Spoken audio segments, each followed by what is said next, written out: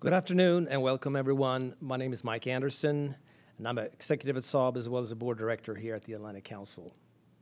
On behalf of Saab and the Atlantic Council Scowcroft Center for Strategy and Security, as well as its Forward Defense Program, I would like to welcome you to this final installment of our 2023 Commander Series titled Designing the Future Joint Force with Admiral Christopher Grady. Admiral Grady, thank you so much for joining us today. When Saab and the Atlantic Council first launched the Commander Series in 2009, our vision was to establish a flagship speakers forum for senior military and defense leaders to discuss the most important security challenges, both now and in the future. This series has been very important for defense companies like Saab, helping us better understand challenges and priorities in order to inform our investments and partnerships, particularly when it comes to research and development, while better preparing ourselves to meet future capability needs. Today's event is the final installment of the Commander Series this year. Looking back on a very successful year for this series, we've had the honor of hosting Commander of U.S. Southern Command, General Laura Richardson, for a conversation on security challenges facing Latin America. Commander of U.S. Air Force in Europe and Air Force Africa, General James Hecker, to discuss the future of U.S. and Allied air power in the European and African theaters. Secretary of the U.S. Air Force, Frank Kendall, for a conversation on the Air and Space Force imperatives for strategic competition, and most recently, U.S. Chief of Space Operations, General Chance Saltzman, who discussed his theory of success for deterring conflict and promoting long-term stability in the space domain. Today, we're delighted to host the Vice Chairman of the Joint Chiefs of Staff, Admiral Christopher Grady, as he outlines his long-term vision for implementing the recently released 2023 Joint Warfighting Concept. Admiral Grady, thank you again for spending time with us today. I'm very much looking forward to hearing from your insights of the course of the next hour. With that, it is my great pleasure to introduce General Jim Jones, who will introduce our guest and moderator. General Jones is the Executive Chairman Emeritus of the Atlantic Council and founder, president, and CEO of Jones Group International. He has a distinguished career serving in roles across the U.S. government and military, including as the 32nd Commandant of the U.S. Marine Corps, the Commander of U.S. European Command and Supreme Allied Commander Europe, and the National Security Advisor to President Barack Obama. General Jones, thank you for joining us today. Over to you.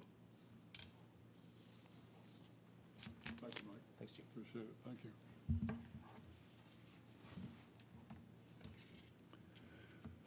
Mike, thank you very much for that uh, kind introduction and for Saab's support of the Council's Commander Series. I'm looking forward to our discussion with today's distinguished guest, and we're fortunate, as Mike mentioned, to be joined by the Vice Chairman of the Joint Chiefs of Staff, Admiral Christopher Grady. Chris, thank you very much for joining us, and we look forward to hearing your insights.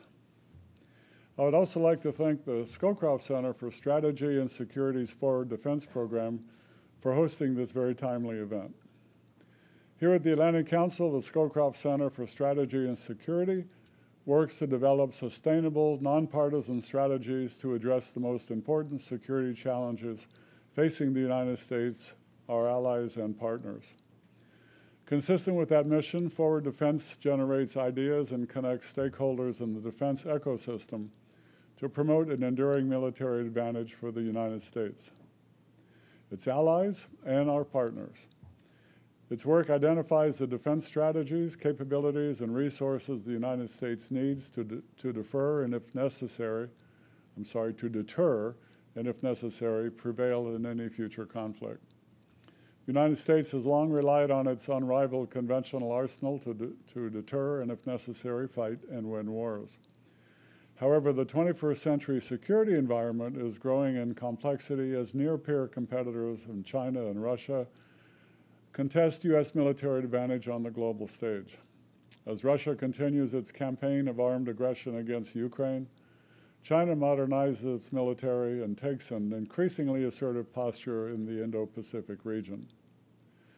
Moreover, warfare today exists across multiple domains, from the traditional physical domains of air, land, and sea, into the cyberspace and information domains, and is intensified through emerging technologies such as artificial intelligence. However, while technological advancements are imperative to maintaining the joint forces' competitive advantage, the Pentagon's bureaucratic, bureaucratic and acquisition barriers sometimes slow their adoption at scale. It's something the Admiral knows quite a bit about. How will the Joint Chiefs of Staff manage the myriad of security challenges facing the United States today, all the while building the force needed for the future fight? Responding to this challenge, the Joint Chiefs of Staff have unveiled the 2023 Joint Warfighting Concept, which presents a new strategic vision for how the Joint Force will innovate and adapt to the changing character of warfare. And so today we are very fortunate to be joined by the Vice Chairman, who will share with us his vision for advancing the Joint Forces modernization imperatives while ensuring its present readiness to deter or, if necessary, prevail in a near-term conflict. As Vice Chairman of the Joint Chiefs of Staff, Admiral Grady is the second highest ranking military officer and oversees the design and development of the Joint Force. He has led a distinguished career of military service with nearly 40 years in the U.S. Navy serving across combatant commands and in the Joint Staff. He will become the first Vice Chairman to finish a full four-year term in this position. Admiral Grady, thank you for your dedication to our national security, and we all look forward to your remarks today. Moderating today's conversation is Courtney Kube, who serves as a correspondent covering national security and the military for NBC News Investigative Unit. She has covered national security, news since 2001. So before I turn it over to Courtney and, and the Admiral, I'd like to remind everyone that this event is public and on the record. We encourage our audience on Zoom to direct any questions to the Vice Chairman using the Ask AC link, which you can find in the chat. Be sure to identify yourself and your affiliation in your questions. We'll be collecting them throughout the event, and Courtney will pose some of them to Admiral Grady. We also encourage our online audience to join the conversation on Twitter by following at ACS Scowcroft and using the hashtag Forward Defense. Thanks to everyone for joining the Atlantic Council for what I know will be a captivating conversation. And so, Courtney, without further ado, over to you.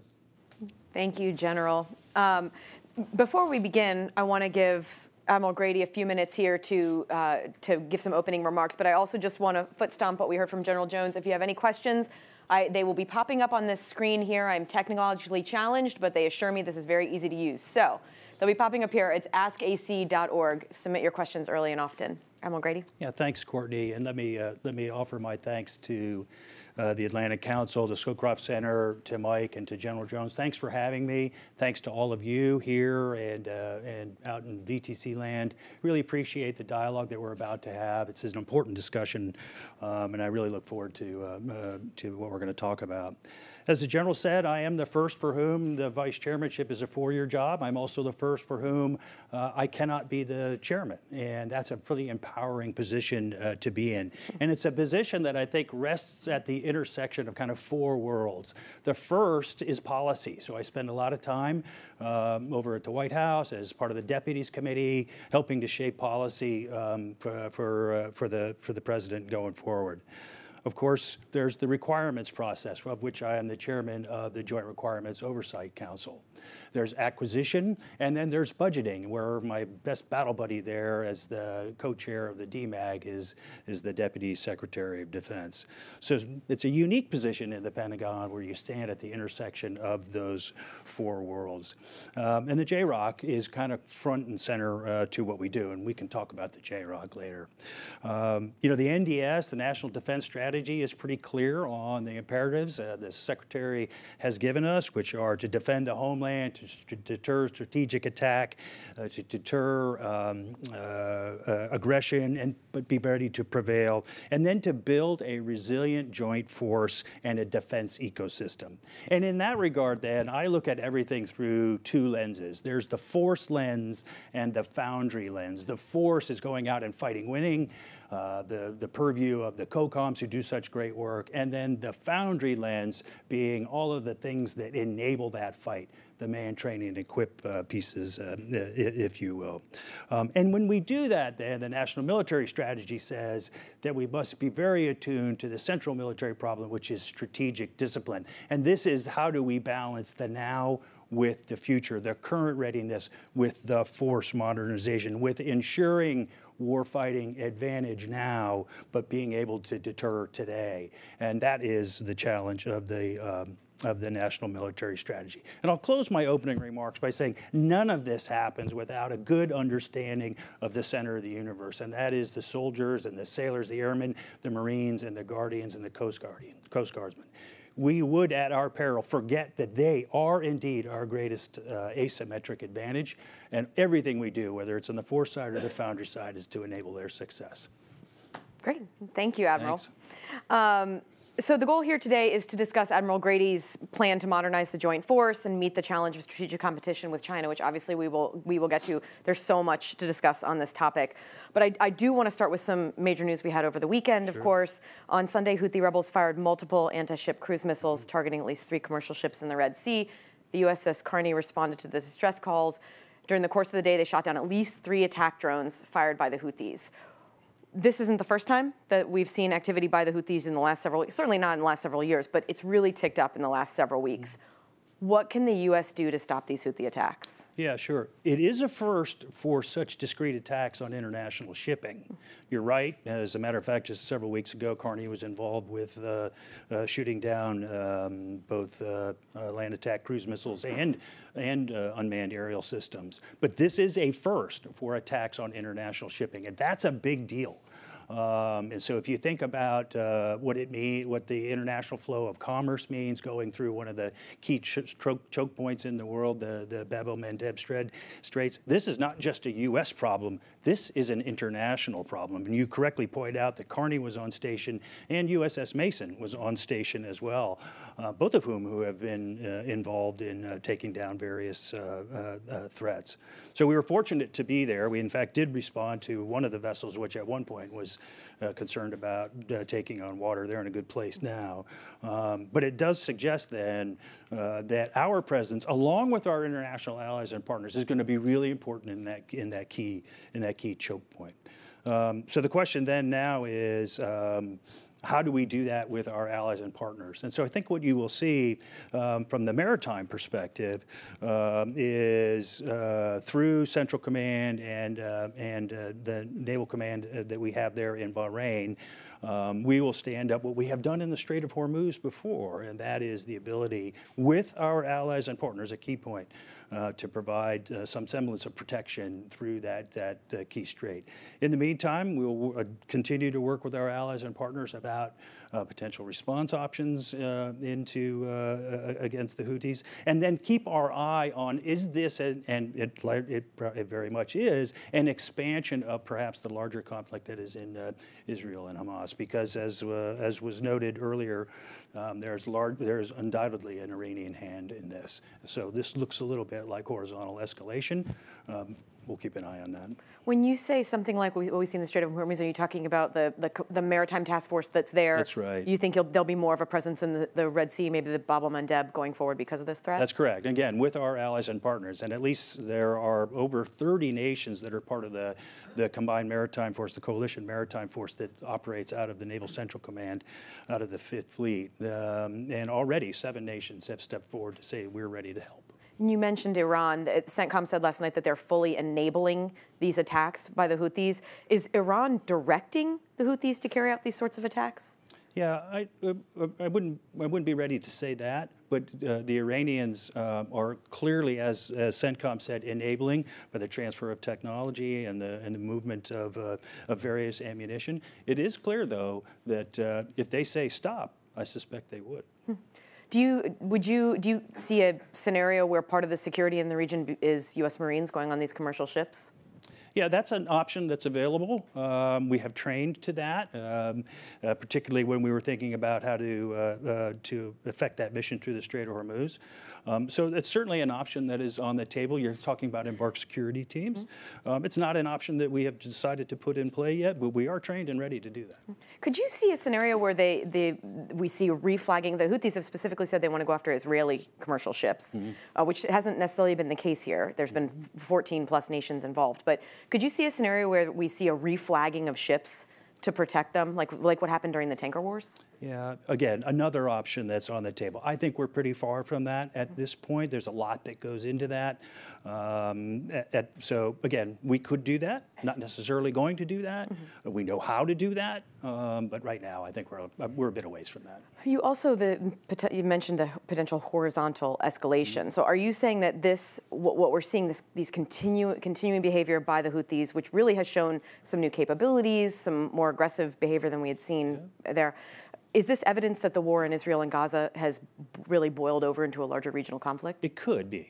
Um, and so that's one of the things that we want to track closely. Just listen to the, uh, the Houthis' own uh, public statements uh, about how, and the as you mentioned, that they intend to target only Israeli vessels. That's a pretty direct indicator to me that they are operating on behalf of, of others in, uh, in, that, uh, in that other crisis. And then just one more: Are you um, do you think that our U.S. military right now in harm's way in that region, in the Red Sea and in the Bab el Mandeb? Sure, it's a dangerous place, but uh, as you can tell from uh, from what Carney's been able to do and what Mason's been able to do, well trained, frosty COs, good crews, ready to ready to take it on.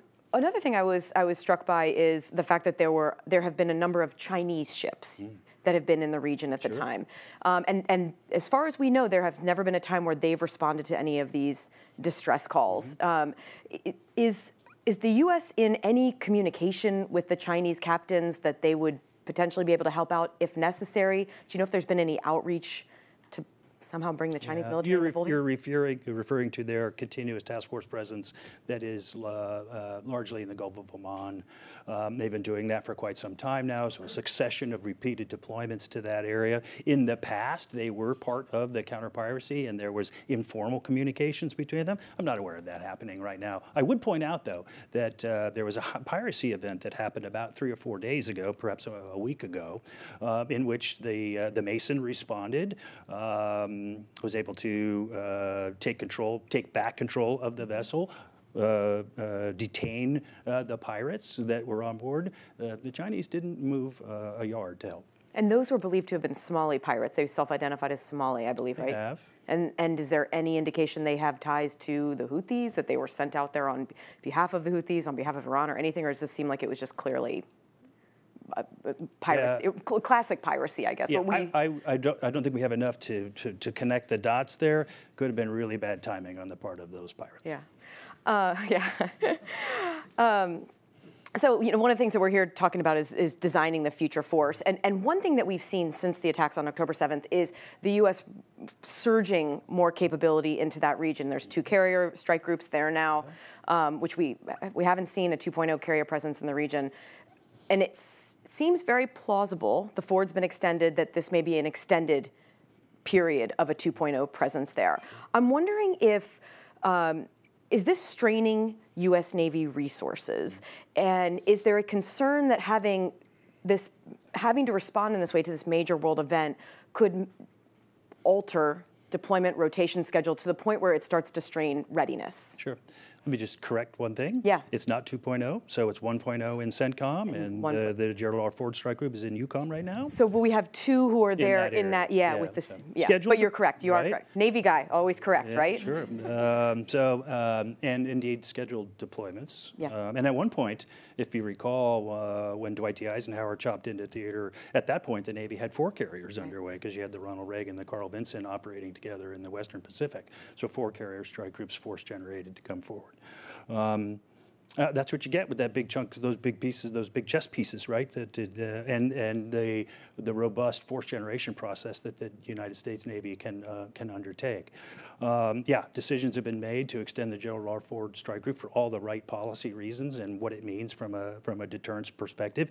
Rest assured, the Secretary and the President look at that very closely. There is a cost to that later um, uh, as we think about the force generation uh, uh, in the out years. So every time you extend, there's a there's a price to be paid there. Right now, it's a manageable cost.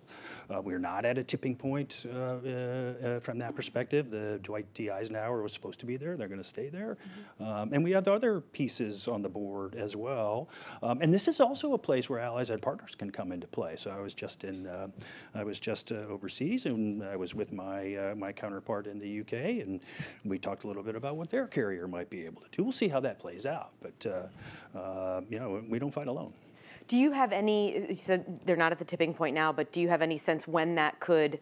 We, they could be at that tipping point. I mean, it's, it seems like we've we, we've heard for so long that they're, you know, carrier rotations, the cycle is is so tight, mm-hmm. um, and there there's not always a lot of wiggle room for for major deviations. Mm-hmm. Frankly, like what they've seen over the last couple of years with the invasion of Ukraine and now with October 7th.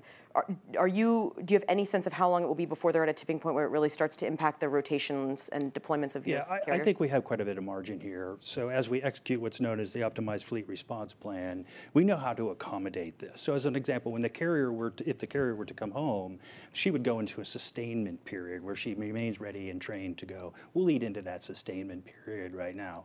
Um, of course, we want to get her and her uh, her air wing uh, kind of you know off the ship and, and ready to train up for the next cycle. Carriers are uh, you know it's a big piece of metal that's been riding around in the ocean for a while and needs to get some work done.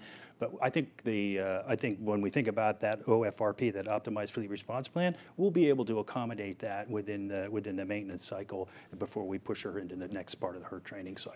But the longer we go, the, the harder that gets. Yeah.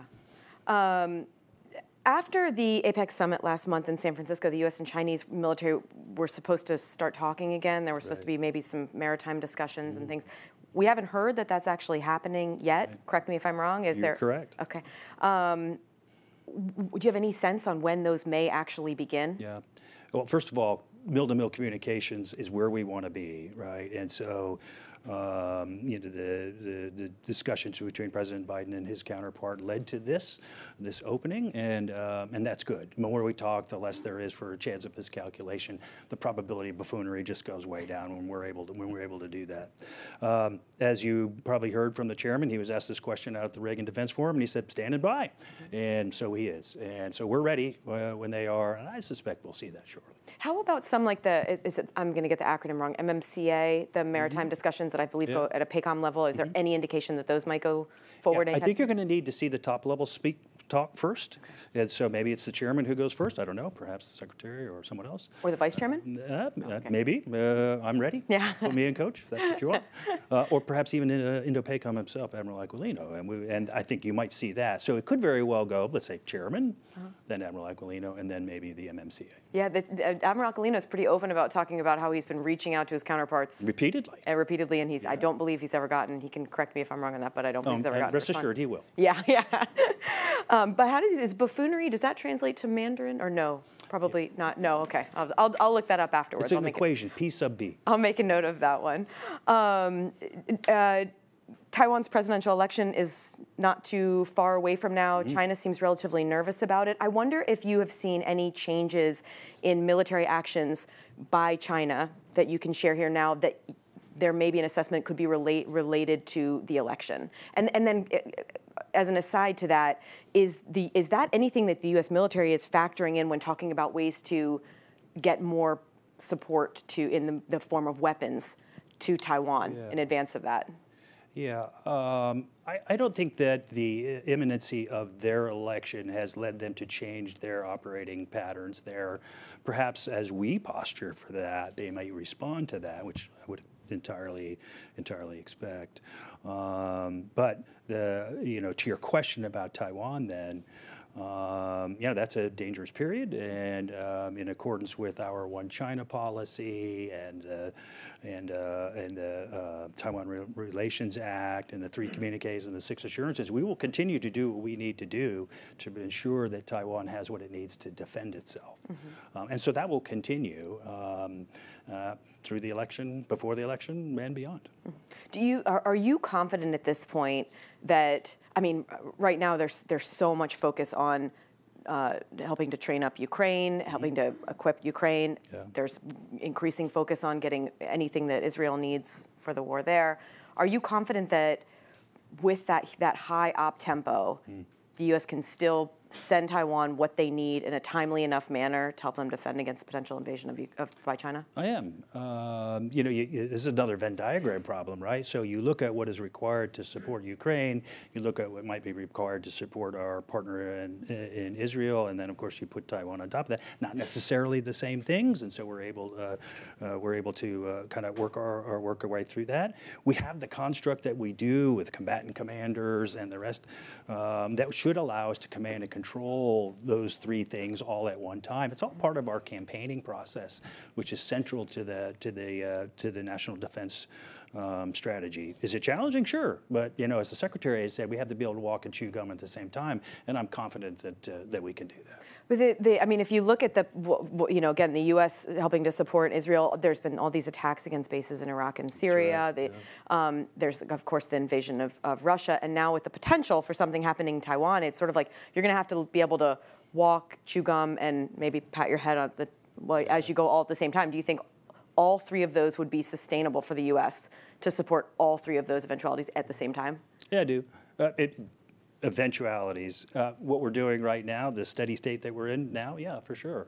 Yeah, Russia invasion into a sovereign state in Crimea, uh, and then followed into uh, into into Ukraine. Certainly, what's happening in Israel, and uh, and uh, you know our support to Taiwan. We can do all of that. How about in the midst of the continuing resolution and the budget fi- crisis? How, um, I mean, is it possible to continue uh, to support Ukraine at the level the U.S. has been doing, to support Israel at what seems like it's only going to be an increasing level with additional weapons and, and whatever they need, and a, and a continuing, continuing resolution?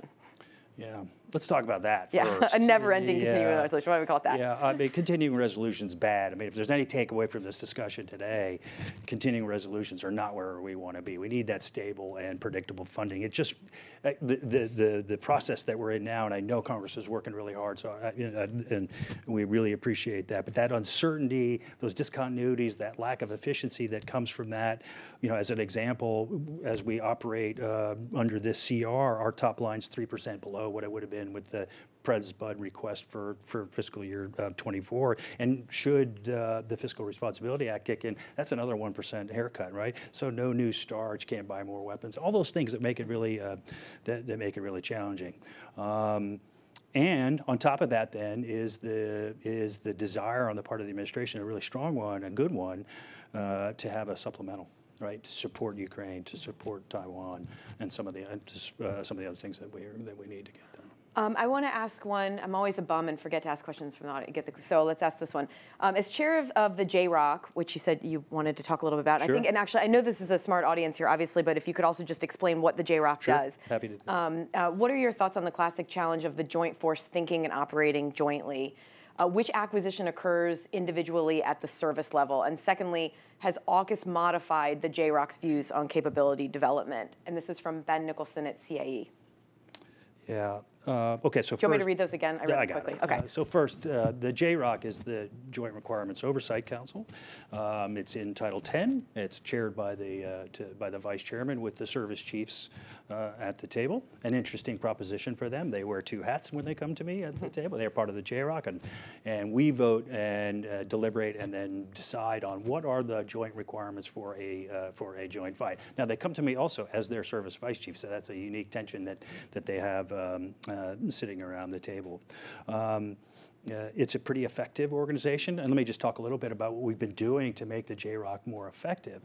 Um, so, building on the, on the really great work of my predecessors, Paul Selva and John Hyten, particularly, I just saw John in the building today, as a matter of fact. Um, we have kind of taken uh, the way that JROC works and transitioned from uh, kind of this idea that services we have a requirement, the services bring me a doc, uh, bring me a technology, we rubber stamp it, and then they can go out and buy it, right? So this bottom-up approach.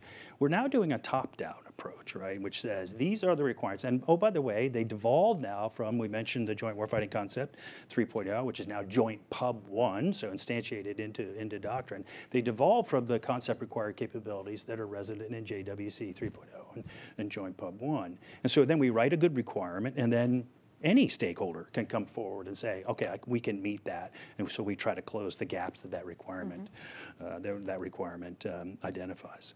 Um, Secondly, we have taken on uh, a different approach to rather than looking at it in stovepipes of systems, but we look at it across portfolios of capability. Uh, so very, very important. When you think about things like kill webs and that kind of thing, you want to look at it across capability portfolios. That's in line then with the next thing that we've tried to do to improve the efficiency of the JROC, and that is meld our process uh, uh, kind of simultaneously as opposed to sequentially um, with the acquisition side. So back to those four worlds I live in. So they, uh, they have in the acquisition side of things under Bill LaPlante's team, they have portfolios review uh, as well. And so we're bringing those together. And the third really exciting one, and you've maybe heard about Replicator and the rest, is the deputy's um, initiative on innovation and what Heidi Shyu and her team do. And so that forms a kind of a three-legged stool of portfolios and requirement, portfolios and acquisition, and portfolios in technology and, and, uh, and R&D. So we're trying to bring that all together. The last thing I would brief you on and what we're trying to do with the JROC is trying to put some teeth into that. Right? Um, so the JROC, um, you know, I can yell pretty loudly, uh, but the services don't have to do it. I don't have that authority to order them to do it. Interestingly, I was just with my counterparts uh, last week in um, in uh, the UK and in France uh, and with Australia. They all have that authority. Hmm. So this is our system. It comes out of Title 10 works, there's tension there, we, we make it work. But I want to put some teeth into that, whether that, you know, I think a long-term solution might be, you know, if, if you wanted to change that legislatively, I'm not certain that that's where we'll want to go, uh, maybe. Uh, but at the very least, I can do a scorecard that says, hey, all of you JROC members signed, it, and you all vice chiefs, you signed up to do this. You said yes. We signed it out does that match with what we're seeing in the budget? And if not, then we bring that forward to the secretary and he makes the risk calculus. I can't do that right now. We're going to leverage data and AI to make sure we can do that. But that's, that's how I, I think in the near term that I have, building on the work that my predecessors have done, I can bring some teeth to the JROCs as we continue to try to evolve that to make it stronger. AUKUS um, has not necessarily changed the way we think about it with one notable exception. And this goes back to allies and partners.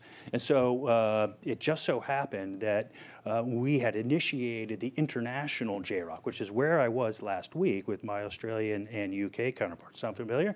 Sounds a little bit like a, not the same function, but what I see happening in the international JROC, we've now had two meetings. We're beyond the norming and storming in the governance phase. We are actually establishing requirements that can, we can work through together. Um, I can see that we will be able to take the output of the IJROC mm-hmm. and be at least one requirements-driven input to say AUKUS Pillar 2, which is the new technologies piece. Uh-huh. That's pretty exciting. Huh. Uh, you mentioned dual hatting, and we have a question here from an anonymous, anonymous writer, caller, reader, listener, um, saying, How has Senator Tuberville's hold on confirmation impacted the Joint Force? And you are uniquely positioned on that question because you were almost the acting chairman. Yeah there was a, you were days away from being the acting chairman yeah. as as well as the vice, and you some of the the vices on the joint staff were serving as actings for a yeah, while. that's correct. Uh, the you know I'll leave the, the politics of that issue aside um, as they uh, you know as they work uh, they work through that. Um, but I would say that you know when you look at the number in the hundreds, 300 uh, uh, or plus now of uh, officers that are being uh, general officers and flag officers being up, there is a cost to that. There's a readiness cost to that for sure, um, and there's more importantly, just as importantly, there's a personnel cost to that. So think about all of those new one stars or two stars or those three stars are going to move, or even the four stars. What that means to their families. They yeah. can't plan. Spouse can't get a new job. Kids can't go to school. They don't know where they're going to live. Um, as we keep these things uh, mark in time. There's this idea then, I'll use the JROC as an example. One of the real values of the JROC is you have the vices sitting there, right? All that depth and breadth of experience. Um, the folks that are coming now are not the are, are not the vices. They're really capable officers, but they come based on the specific issue that makes sense. That's what I would do if I were in one of the one of the services until they get their advice. But that depth and breadth, how it fits across the entire service portfolio, probably not as strong as it would be if there was a vice sitting at the um, at the table. Um, and then lastly, I do worry a little about retention. So if you're a colonel or a lieutenant colonel or a captain or a Navy commander, and you're looking up you might start asking yourself, is that what I want? And now the answer to my friends who might be listening is absolutely. Stick it out. Let us get through this. We'll solve this problem uh, together. Uh, but I would I worry uh, about the value proposition that is being portrayed about what it means to be a, a GO or FO. Um, Is, actually, I want to get to this one question, it's, it's off this topic, but um, there's someone asking about Taiwan. Since we're already late to to deliver $19 billion worth of weapons to Taiwan and only have 1 billion worth of the authorities under the Presidential Drawdown Authority, of the PDA, what is the plan to fulfill Taiwan's defense needs? And then I would just add to that, and is there any way to characterize how much more difficult, if at all, that is given the continuing demands by Ukraine, the continuing demands now out of Israel? Yeah, um, so Taiwan is one of the biggest recipients of foreign military sales, 45 billion since 2020, yeah, uh, uh, for the last 20 years, excuse me, um, 35 billion of which has already been provided. But the question is a good one because you know, uh, without a budget, without that supplemental, then you will you'll come to the end of that. So that's a challenge, right? Because what we're trying to do with Taiwan is establish their own ability, their own capability to defend, whether it's leveraging uh, a whole of nation perspective on it, uh, whether it's how they think about mobilization or uh, uh, and uh, how they think about asymmetric warfare, this kind of porcupine theory, uh, how they think about their own indigenous uh, industry. So we're trying to do all that, and without the uh, on top of what we're trying to provide them uh, via FMS. So uh, the supplemental is really important, and that's our effort to try to get past that. Now you asked about can we do that? It's a similar challenge in in Ukraine, right? I think we have about four and a half billion left to the end of this year. Another supplemental will be required. I will just end on that point by saying the secretary has been very clear that our, and I believe the alliance too, this is Chris's view, but the alliance, uh, it's an ironclad commitment to, uh, to, to Ukraine. China's been pushing pretty hard on the second Thomas Shoal, and, and there's some who are posturing that it may be they're looking at that to see if the U.S. comes to Philippine, the Philippines' defense as a maybe a, a foreshadowing of Taiwan. What could happen if, if they were to do something in Taiwan?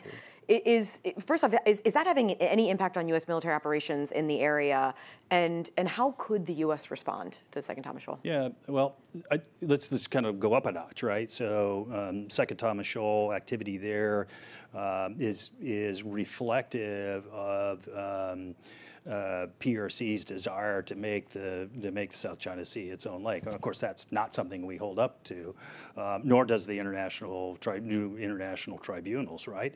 Um, and so this is a direct challenge on the rules-based international order. So again, with allies and partners, we continue to push back against that, um, and part of that is support to a treaty ally, which is uh, Philippines, right? Um, and uh, so we are able to support them in in, uh, in various ways. This is a case where the probability of buffoonery goes way high uh, as you start to see um, uh, uh, Chinese uh, PRC, PLAN, or, and more importantly, not PLAN, but kind of white end, white vessels like Coast Guard equivalents uh, uh, participating in an effort to um, to coerce uh, to coerce Taiwan. Now we've been doing this for a while there. This is not new, but the the tempo is a little bit higher right now. Is it a test case for what we would do? I, I think it's a test case for the whole rules-based international order, frankly. And what they have seen from us, and particularly the Philippines, as the Philippines continue to do, I, I'm really impressed with what they've been able to do. And I think that's reflective of the strength of the relationship that we have with them, right? And so when- when I think about what Indo-PACOM Command and State Department and the rest have been able to do in the Indo-Pacific over the last two years, whether you think about our relationship with, uh, with the Philippines or Australia or Japan, that trajectory there is really strong because it done it feeds into if I if, if we have if we have Um, the center of the universe are, s- are, are, are troops are one strategic advantage. At least another is the friends and uh, allies and partners that we have that they do not. And this is uh, what you're seeing on the part of the emboldened uh, Philippines, who are, who are doing a great job, is an example. But how, what, how can the, is, is there a way that the U.S. military can uh, already, or I guess can do more to show that support for the Philippines? I, mean, are we talking more freedom of navigation operations? Like, what can the U.S. military Yeah, do? To- so I think uh, uh, you know we provide them with um, you know quite a bit as they think about how to handle things in the in the in the Second Thomas Shoal, or, or but largely it's about not ceding that battle space in the South China Sea, right? Uh, and so we're going to fly, sail, operate anywhere where international law allows, and so our presence then in the South China Sea, whether it's freedom of navigation ops or operations that we do quite regularly, whether it's whether it's uh, transits of the of the Taiwan Strait, which is in accordance with international law, both of those are. Um, you will see us continue to do that, um, and um, that then reestablishes the rules-based international order, which then I think translates over to. Uh, to our allies and partners who know we're going to be there and we're not leaving. We've been there for over a century. We're not leaving. Um, I want to take another question. This is from um, Patrick Tucker, Defense One, a reporter. Can you talk about any concerns you have about sufficient access to safely sourced, i.e., not Taiwanese or China, Chinese, microprocessors and other advanced components in order to scale up production of cheaper attack drones under initiatives like the Replicator program, which you mentioned earlier? Yeah, so this is a great question because it's all about supply chains, right? And uh, and and um, you know how we how confident are we in the security and surety of those supply chains? So this is a huge effort on the part of DepSecDef and Bill LaPlante and his team um, as we take the lessons learned that are coming out of say Ukraine and other places about the fragility of our industrial base and add that add this issue into how important it is to uh, to do that nodal analysis and to ensure that uh, uh, you know the what we buy and what we build with is, is safe and secure. So to to uh, my colleague's question, that it is a high of high concern and at the very top of the list when we try to describe what are we looking for from a defense industrial base of the 21st century. That's part of it: a safe and reliable and secure uh, supply chain all the way down to the second, third order tiers and parts suppliers. Um, we have another one here from Colonel Kevin Coyle. Hope I said that name right. Uh, what is your sense of our report card when it comes to true jointness, where interoperability is seamless and U.S. warfighting domains are truly integrated? Yeah. Um, so interoperability, joint interoperability, I think we're making pretty good strides there. Uh, so efforts like uh, CJADC2, or combined joint uh, all-domain command and control is, is uh, kind of one of the hot button issues right now. Great progress being made under the department's leadership. Joint staff has a, has a piece of that. Are we completely there to a scorecard piece? No.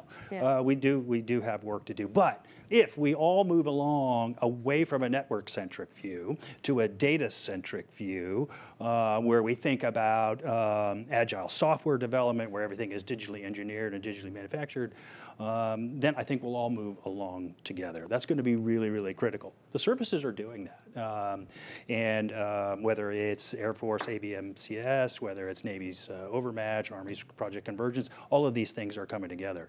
Uh, an example of that is being able to deliver the joint um, uh, the the, the uh, Joint Fires Network to um, uh, to Indo-PACOM. That's the minimum viable product that we're trying to bring.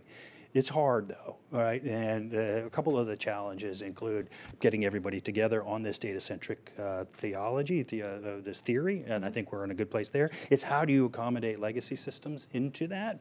Um, uh, that's a, that's a challenge too, and it, it, it takes time and, and money. Uh, but it's a high priority for the secretary and the deputy, um, and it's also back to our friends and allies and partners. We have to do it without leaving with with them going forward too. That's pretty tough too.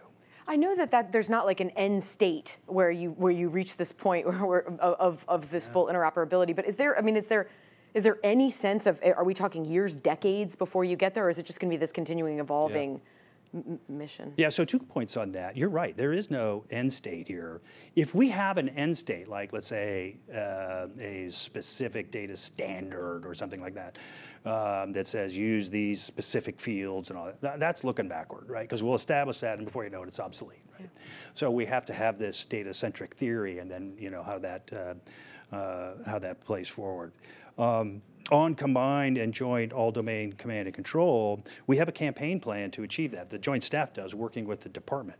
Uh, and its timeline is 2027 to bring uh, viable product to Indo-PACOM specifically. Well, and uh, so that means we're moving pretty quickly because we want to get it into the field and trained and ready to go by 27. And then there's a part two to that campaign plan, which will take us into, into uh, kind of JADC2 next uh, going forward. So let's get to what we need in 27 and then build, build out the rest.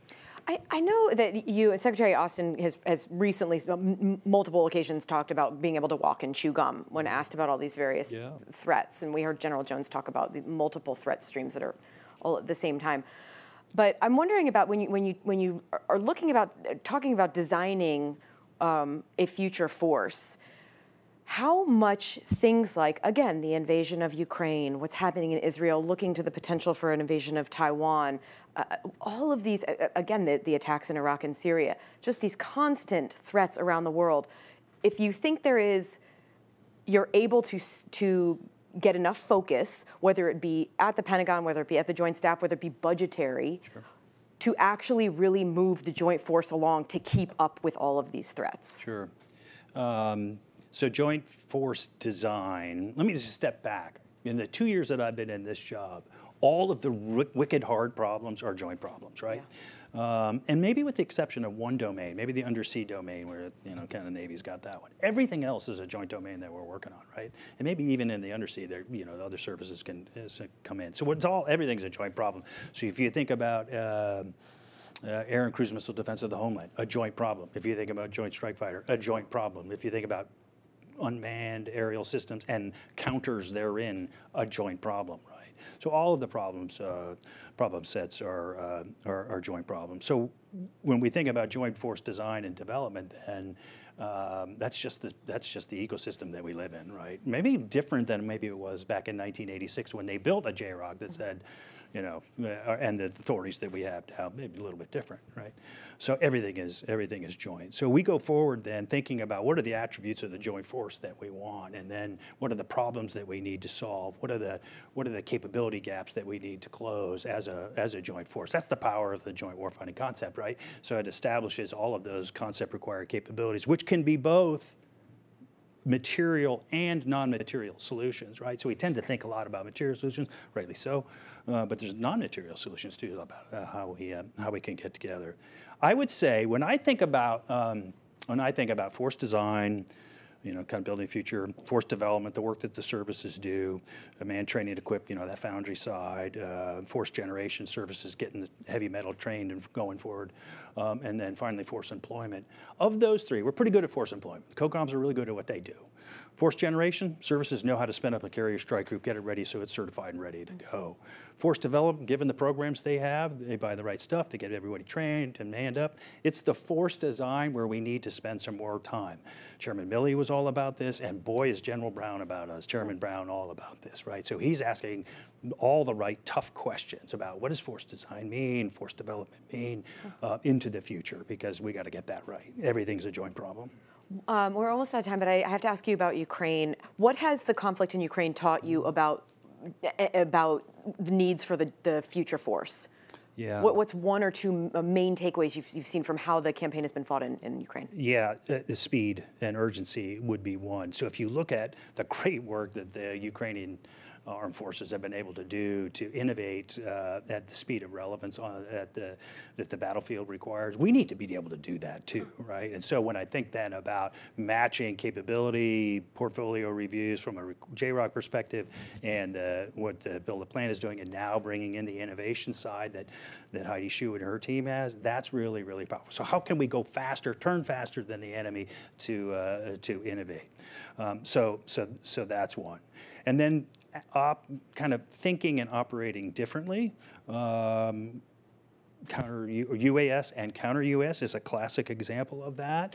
Um, yeah, we're seeing a little bit of hypersonics play out on the battlefield. So a little Spanish Civil War going on there, and what we're seeing. Unfortunately, people are dying, and we, we want to we would hope to be able to to stop that. Now, yes, so that's how we start thinking about what the you know a joint force of the future uh, might look like. Now, on the flip side, trenches, mines, obstacles, uh, the importance of combined arms maneuver, being able to move and shoot at the same time. Those are lessons that uh, we ha- have been validated. And so I guess to kind of put a, a fine point on it, we don't we want to focus on the future, but we can't forget that other stuff because it's still pretty powerful when the bullets start flying. One thing that General Jones failed to mention in the intro about you is that you, anyone who's been in your office will know this, you're a Notre Dame super fan. Yes. Uh, you also are a Texas fan. Son and money went to Texas. We've we've talked about some very difficult issues here today. China, Auburn, too. Israel. Oh man. Yeah. Uh, China, Israel, some complicated national security. But I'm really going to put you on the spot right now. Yeah. What do you think of the NCAA decision for the college football playoff? Yeah, it's a great question. Uh, I- you don't have enough time. Yeah. Florida. Florida State. Florida State, yeah. Florida State. Yeah. Um, why play the games? Really? they don't count, right? So you go 13 and 0. Uh, you do everything you ask. You win your conference. You do it with the third string quarterback. You do it with defense. We say defense wins championships all the time. I guess not. I guess it doesn't matter because it's all about the eye test. So um, I am opposed to that decision um, because you know they did everything they would, that we asked them to do, and uh, they should be in the in the college football playoff When is Notre Dame's year?